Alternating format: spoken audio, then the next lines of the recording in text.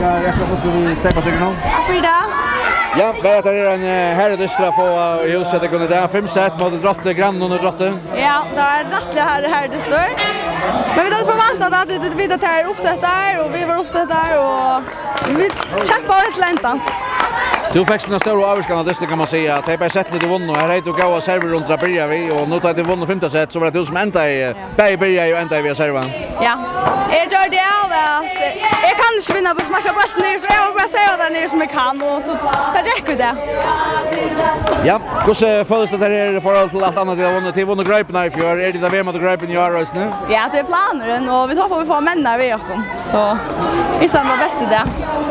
Ja, men dette var ikke ganske øyne til at det er ikke omøvelig at Jeva SU det slukker til slikene. Det er klare drotter så gjør for. Ja, altså, det er kjempet vel, og vi bør opp og nyer i det, men og lykke så klarer vi det sterkere. Ja, og hvordan skal det nå feires? Ja, nå feirer vi DJ Mannen, og så får vi Dante Lester og folkene en bita, og så, så får vi sånn renter. Blir det vi øyne gullmerkjen, eller tvøyme gullmerkjen til feirer Vester? Jeg vet ikke, jeg håper det blir det at vi. Jeg håper det.